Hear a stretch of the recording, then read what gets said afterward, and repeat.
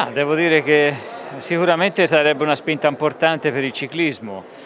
anche se oggi il ciclismo è più estero che italiano, però io credo che potrebbe essere molto importante. I grandi campioni del ciclismo toscano, compreso anche il neo CT della nazionale Daniele Bennati, in Sala dei Grandi nel palazzo della provincia di Arezzo per sostenere la candidatura di questo territorio per quello che riguarda la realizzazione di un velodromo. Sarebbe una grande opportunità non solo per il, per il ciclismo toscano, per tutto quello che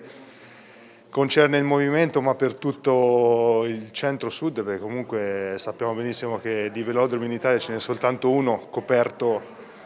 eh, stiamo parlando di velodromi coperti e quindi sarebbe, sarebbe davvero linfa vitale per, per, per tante società, per tanti ragazzini che si vogliono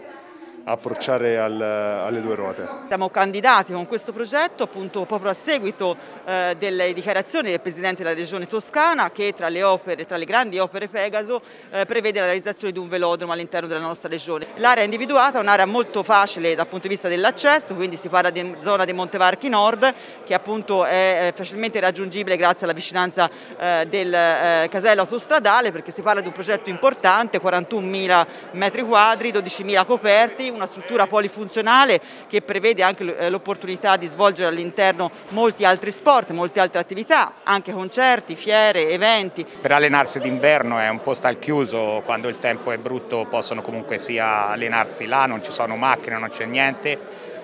e poi riuscire a organizzare anche qualcosa di importante come gare sarebbe una cosa veramente entusiasmante. Eh, credo che sia una cosa estremamente importante, definirei determinante per un recupero, a mio avviso, di questo sport, soprattutto su questa terra, in qualche modo dire, insegnando un po' la storia del ciclismo, sapendo chi è passato su queste strade,